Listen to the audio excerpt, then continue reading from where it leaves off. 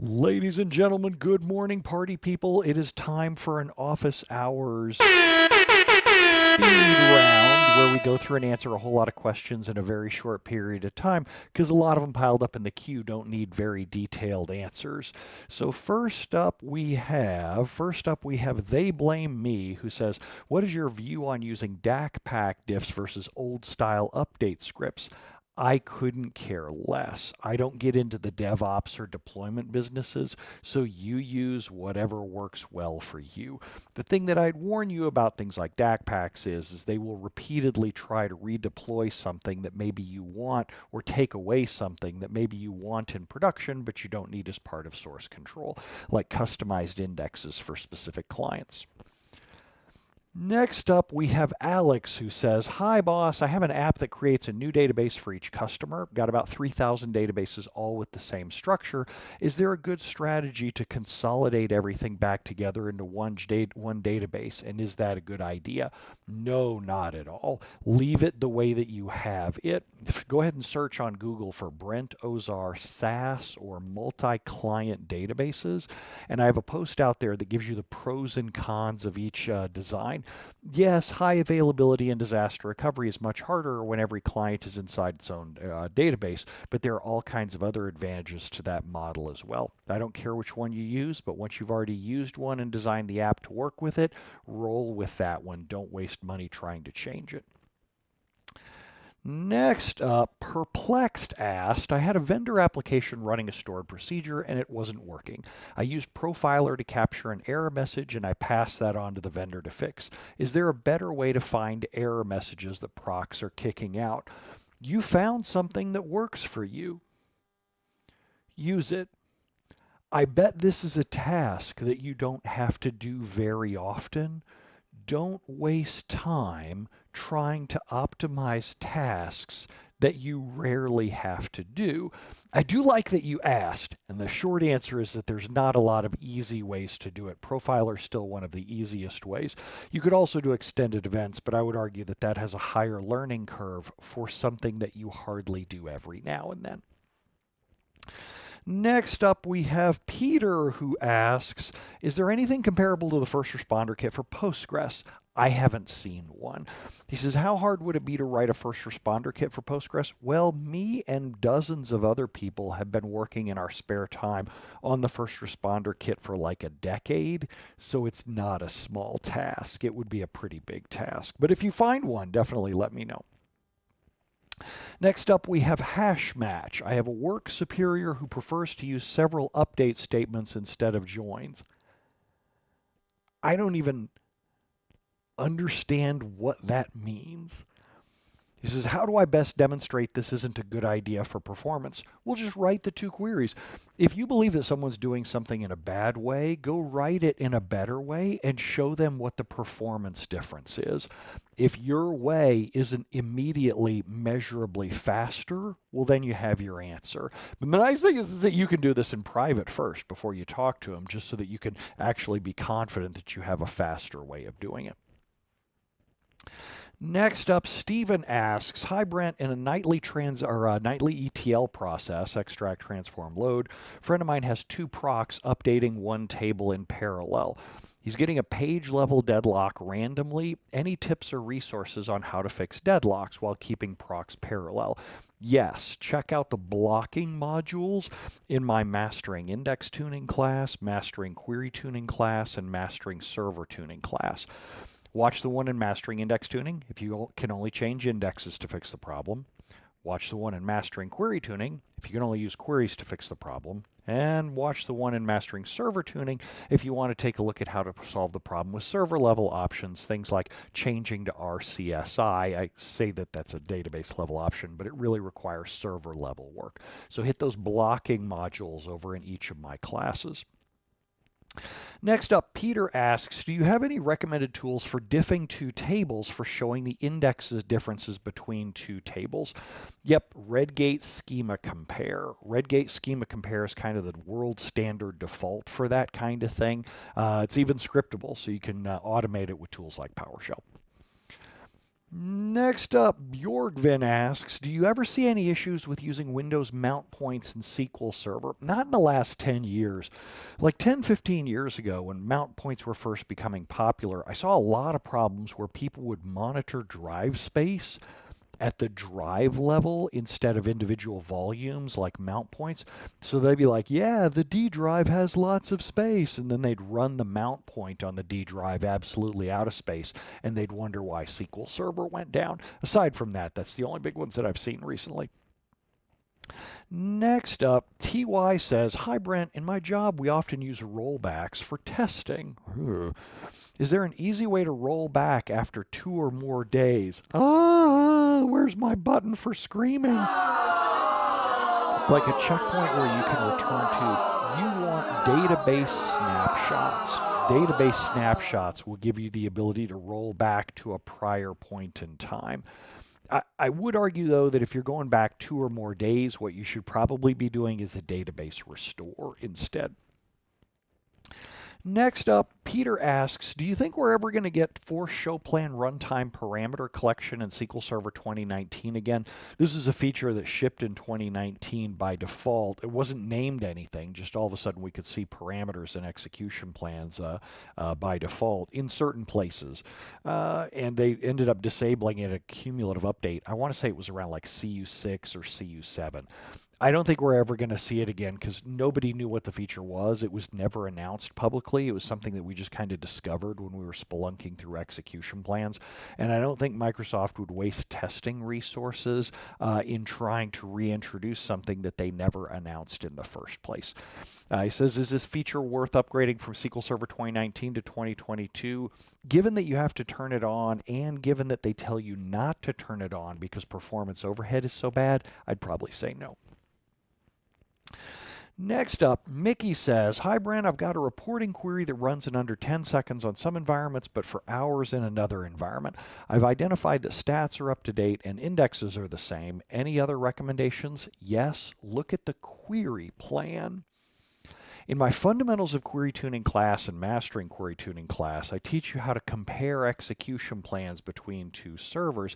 Now, you're saying you can't get a plan because the query takes hours to run. Start with the estimated plan. If the shapes of the two estimated plans are different, that's your first clue that there's something inside those that is different, like different settings at the server level, for example, different amounts of hardware resources. Gromit asks, do you have a good way to fix high VLF counts that don't break log shipping? No. No. No. No. Sorry. Next up, Nick Smith says, Why might performance get worse over time? And I'm seeing high waits that are SOS scheduler yield and SOS work dispatcher. That means that you have a CPU bottleneck.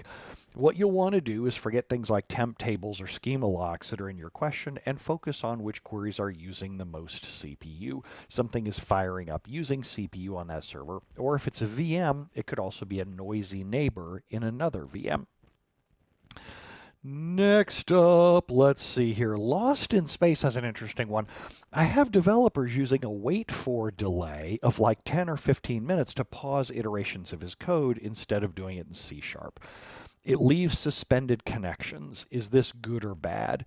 For me, the reason why I don't like this is if the code has any kind of errors where it opens a transaction and doesn't close, uh, commit it or roll it back, then just doing the delay will leave that trans transaction open for a very long time. That's the part I'm worried about. So I would rather have him, when his process is finished, close the database connection so that you can be assured that there's no transactions hanging open in the database. But that's just my own personal preference because I've been burned by that open transactions so many times. Next up, uh, Working for Demand says, I'm a DBA for a city with a hybrid environment. When I was gone, IT pushed through a service pack. Should you re re suggest reverting to a previous service pack or feature pack? No, I once it's already in, any kind of change to the environment is risk. And taking out a service pack or a feature pack is risk as well. I wouldn't want you to get in trouble for that. If anybody gets in trouble for something being broken, at least now it's not your fault. It was the fault of whoever pushed that service pack through. Next up, Hadar asks, do you have any recommended books or courses for sizing Azure VMs for the lift and shift of SQL Server? Let's see. Any recommended courses? Do I know anybody who does training courses? Hmm. I wonder if if anybody that I know has a website where you could click a link called training and it would have a course called say for example running SQL Server in the cloud. Wouldn't that be cool? I don't know anybody like that, Hadar. But I think you do because you posted a question on his website. Moving on. Doc asks, do you encounter peeps that live on cruise ships in retirement, and is this an option for you? I have never met anyone who actually does that outside of there's a cruise ship called Residency, uh, MS The World, if I remember right. Uh, and I've met people who both lived on that and worked on that, but that's kind of different. It's like a, a, a, condo on a cruise ship. Uh, but for people who live on regular cruise ships, I, I haven't actually seen that happen. And I think it's almost more of an urban legend than it is an actual thing. It's not an option for me because the bandwidth is terrible and I really miss cars. Like I love my car collection. Uh, next up, Ron says, what diagnostics would you recommend for a SQL server that's fully 100% CPU throttled during query execution due to a bad query plan and you can't get a connection and a hard reboot seems the only option? The DAC, Dedicated Admin Connection. If you go to brentozar.com slash go slash DAC, D-A-C, You'll learn how to use the DAC, how you can get a connection even when the box seems unusable, and you can run diagnostics through there. Next up, Nordsea asks, Hi Brent, recently had a SQL statement with a begin tran and a commit tran that was executed from SSMS and returned a results message. We had a blocking issue and it turns out this query was never finished. What do you think could have caused this? They didn't run the commit. They didn't run the commit. Anytime a user tells you that they ran the whole query, and trust me, they highlighted all of it, and it couldn't possibly be their fault, they are lying to you. I know it's hard to believe that someone could lie to you, but maybe they even believed that they highlighted the commit. Maybe they also ran several queries leading up to that moment. Maybe they tested it several times and kept beginning a tran every time and then thought that that one commit would commit everything. Sadly, it did not. Uh, next up, TY says, Hi, Brent. It seems like you know everything about SQL Server. At least seems like it. yeah, it only seems like it. Can you do a short session with something you don't know much about and lead us through the process of learning it? It would be very beneficial to see how you build your knowledge. The way that I do it is that I find a, a real world problem I have to solve. I can't learn everything inside the engine, it's just too big, and I have to focus on things that my clients actually need. So I find a real world problem that I need to solve, and then I go solve that when I'm working with a brand new version of SQL Server and no client is using it yet, I take one of my past client problems and then I try to solve that in the new version. Like when Microsoft says, feature X will magically solve Y, I'll go through and actually try to get feature X to mass, uh, actually solve Y. And then I'll try to break feature X to find where the uh, edge cases are where it doesn't work. And then we'll do one more. Uh, Marcus the German asks, how do you recommend that the SQL, or Brent, do you recommend that the SQL Server instance collation is the same as the user databases? Yes. If yes, how should we deal with databases which have a different collation? That's fine. You leave them on there.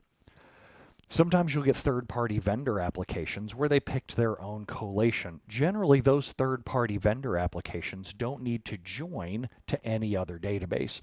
And they tend to not have problems in TempDB because the users or the vendors already probably hit those problems, so they know how to cast for specific collations uh, when they're doing joins over into TempDB. So it's fine. You can put them inside the same database server. If the author comes to you and says, I'm having errors due to collations, then you can say, okay, great, here's why. We can't give you your own database server, or we can if you pay for it. but you're going to have to change your your casting of collations whenever you hop over to different user databases or over to TempDB. Google the user, the error message that they get, and it's a really common, easy problem to solve with plenty of examples out there online. Well, that wraps it up for today's office hours. Holy smokes, we did a ton of questions inside the span of 15 minutes. Uh, hope you had fun, and I will see y'all next time. Adios.